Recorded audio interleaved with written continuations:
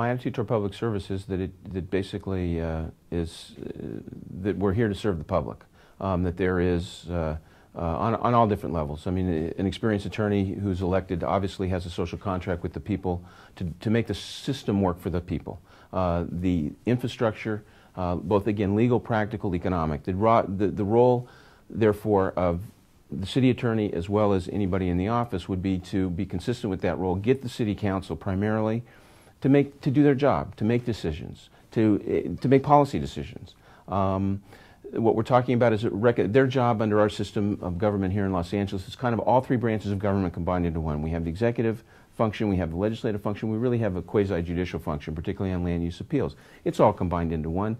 These people have to be made to uh, reconcile those conflicting economic, political, and legal interests. Uh, and like any attorney with a client, again, what we're talking about here is serving the public and saying, okay, if there's a problem, there's more than one way to basically solve the problem.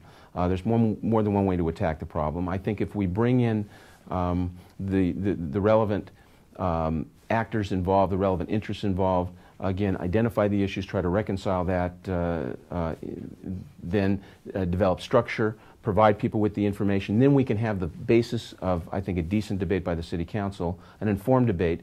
People then will feel better about the result no matter what. I think there'll be less government by litigation, more government by really good legislation, uh, and we can accomplish, uh, again, the idea of, of uh, serving the people. So in terms of promoting people in the office, obviously, it's a matter of uh, being establishing fair criteria, um, job qualifications, job requirements, and you know what?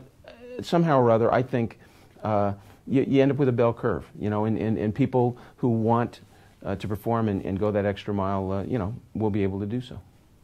So it's, that's, I think, uh, but again, we're, we're back to kind of what I said with regard to the second question. I would look to try to draw my guidance, my inspiration, uh, the imaginative component that really is required to move the office forward from the people that um, would be helping me accomplish um, my broader political vision as well. And, and, and, one final point I think is important to emphasize.